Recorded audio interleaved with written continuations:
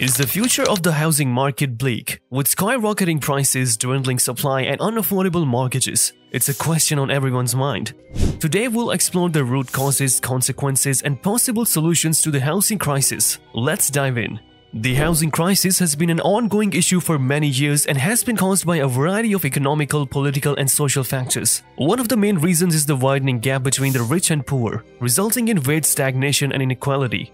This has made it more challenging for people to save for a down payment or qualify for a mortgage. Another factor is the housing market becoming a playground for speculations and investors, driving up prices and reducing availability for ordinary people. Urbanization and gentrification have also contributed to this crisis by increasing demand and limiting supply. Lastly, regulations and taxation laws have created barriers that hinder access to affordable and adequate housing. These issues including zoning restrictions, rent control, property taxes, and subsidies that favor certain groups over others.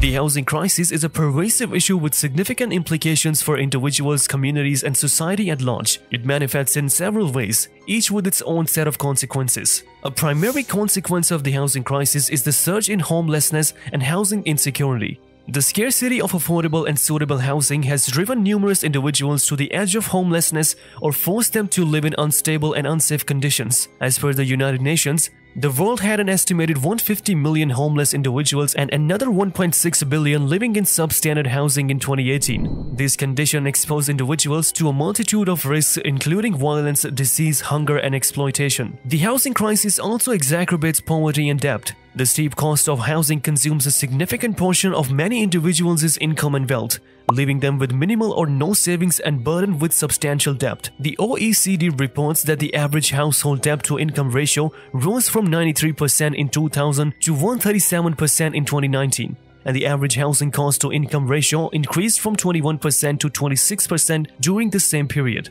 These financial constraints limit individuals' opportunities and choices, negatively impacting their well-being and quality of life. The housing market has also contributed to social and spatial segregation. It has amplified divisions and inequalities among different groups based on income, race, ethnicity, gender, age, and other characteristics. A World Bank report indicates that the Global Dissimilarity Index, a measure of spatial segregation, increased from 0.49 in 1990 to 0.52 in 2015. Such segregation undermines societal cohesion and integration. Lastly, the housing market has significant environmental and health impacts. The residential sector was responsible for 17% of global energy consumption and 19% of global greenhouse gas emissions in 2018. Furthermore, the housing sector has contributed to biodiversity loss, natural resource depletion, and pollution of air, water, and soil.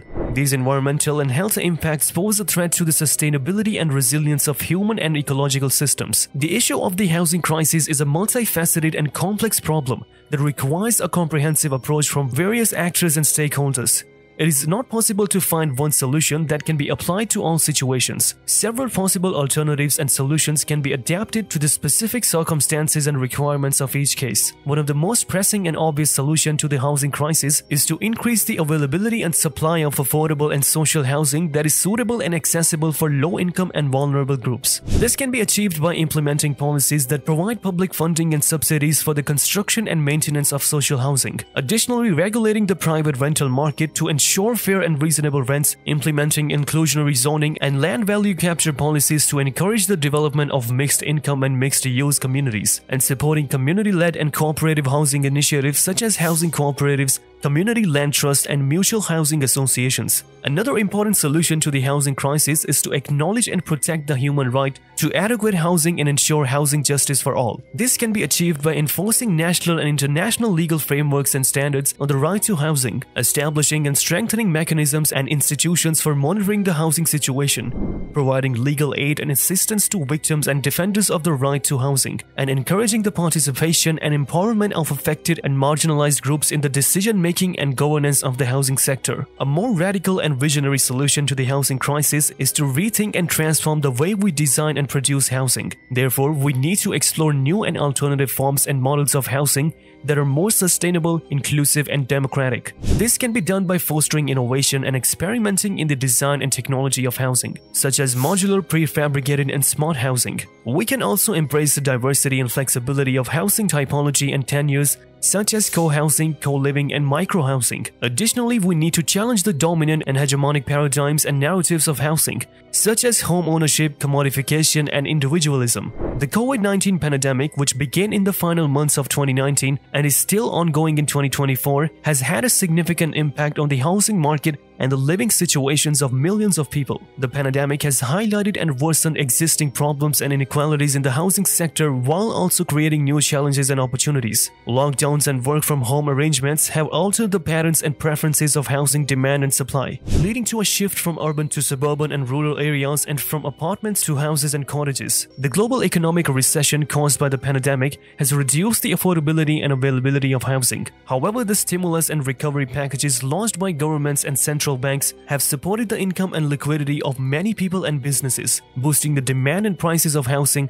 particularly in high-end segments, and creating concerns about inflation and asset bubbles. The stimulus and recovery packages have also raised questions about the distribution and sustainability of public spending, emphasizing the need for a fairer and greener recovery. The impact of climate change on the housing market has been significant and has created both challenges and opportunities.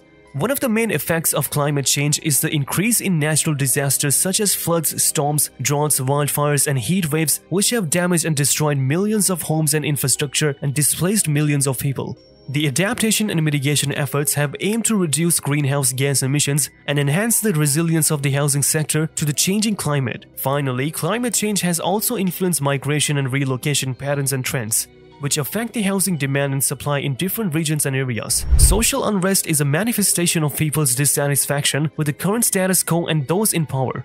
It has had a significant impact on the housing market, affecting the living conditions of millions of people. This unrest has brought underlying issues and inequalities in the housing sector to light and has sparked new movements and dynamics. The main effects of social unrest on the housing market include various forms of protests and riots, targeting the policies and practices of the housing sector.